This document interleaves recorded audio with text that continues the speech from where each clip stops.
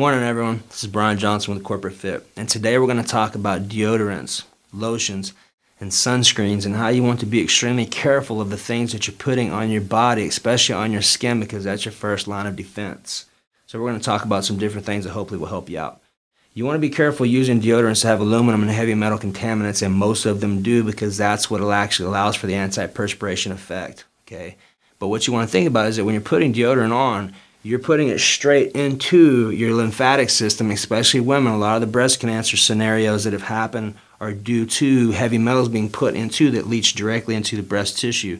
So you want to be extremely careful with these things and get a completely natural one.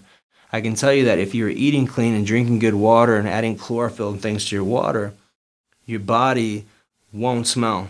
You won't have near as much toxicity. I personally have been off deodorant for about three years. So uh, I have my home moments if I don't eat correctly, but for the most part, there's no smell with that, which is good. That means your body is functioning clearly. okay? Things that heavy metals affect Alzheimer's, Parkinson's, fibromyalgia, dementia, most neurological disorders are due to heavy metal functions in the body. Okay?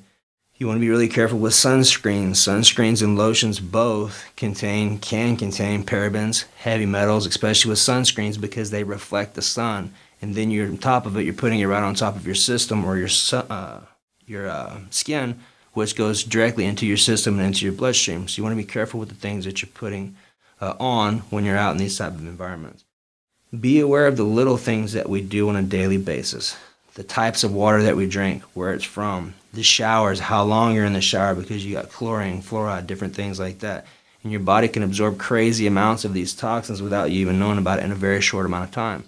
So if you think about the things that you're involved with or around on a daily basis and kind of help to make adjustments with those, it will help immensely with the amount of toxins that your body's fighting off. So hopefully this information was helpful and effective for you. And remember, if you don't make time for your wellness, you will make time for your illness.